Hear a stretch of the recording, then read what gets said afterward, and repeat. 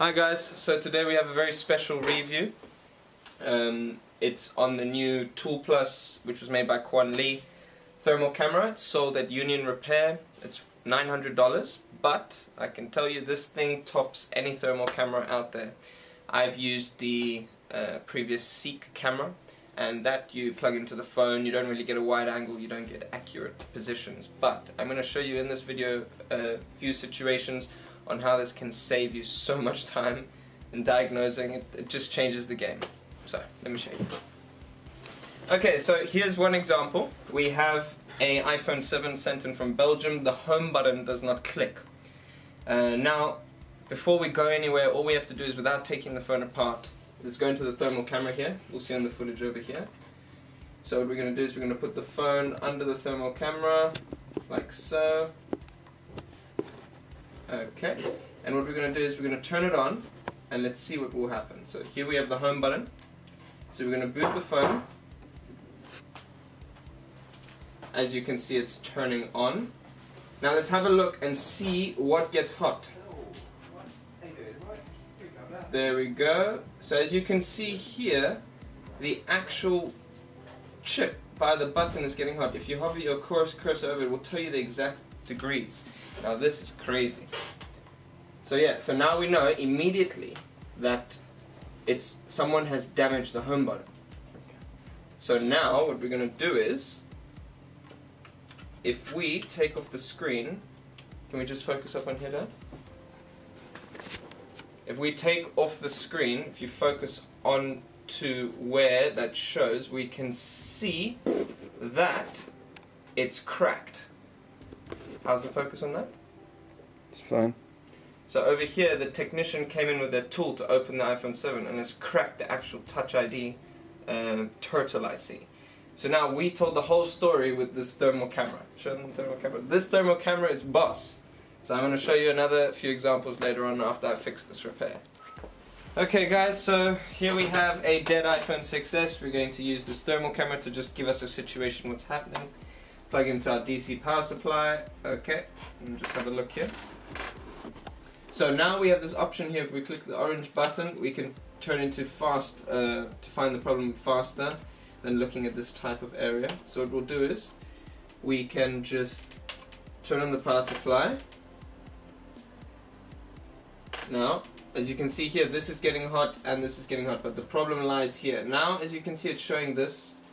We can try and go out here. Now we can see the the um, cap is getting hot there. So what we can do is we can switch it to normal mode and we can say, right, that looks like it's the issue right here. So if we switch it back to the other mode, we can say, yep, it's right there, it's orange, it's good. So we know this is the problem straight away. Head back to normal mode here. Cool that's good. So now we're going to turn it off. And now just for fun and games let's see if that was correct so let's turn this into visible lighting and let's hit it here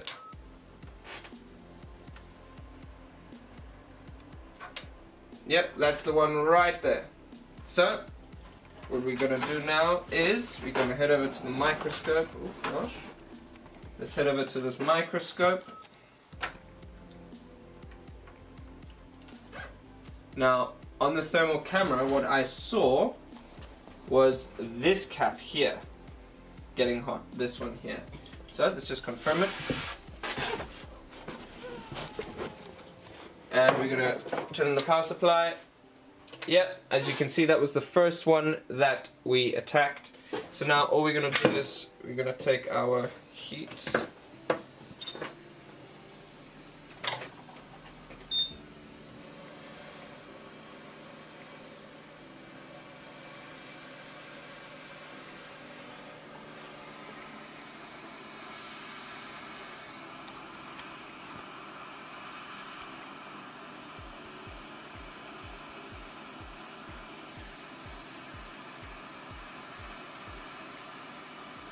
Is it focused? I think so. There we go. So now based on what the thermal camera told us that is the problem, so what we're going to do is we're going to then plug it into the phone Make sure it's focused and zoomed out.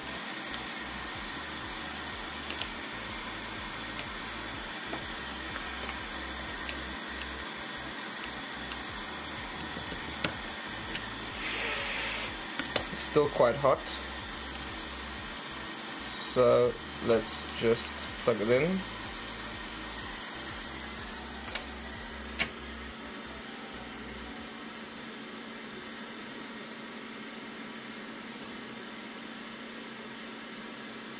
And look at the camera, look at the phone. Turning on.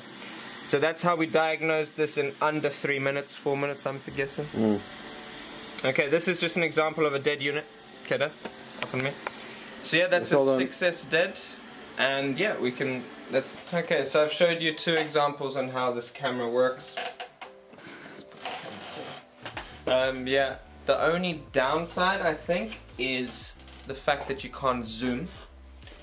But apart from that, this gives you, honestly, you can change the temperature so you can see where the heat is coming more precisely than other thermal cameras. And this, you can compare to the FLIR. The FLIR, they have this ETS model which is 2,500 USD. Um, it does very a very similar job to this. Um, but yeah, it's, it's definitely worth the money. I mean, it's already paid off half of it today, the day I got it. So yeah, only disadvantage is the zoom. If they can sort that out, it will make a perfect product. But apart from that, unbelievable thermal camera for 900 bucks.